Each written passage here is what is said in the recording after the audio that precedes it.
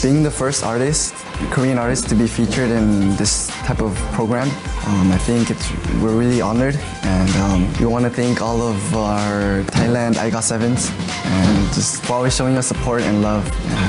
And we hope we can see them again soon.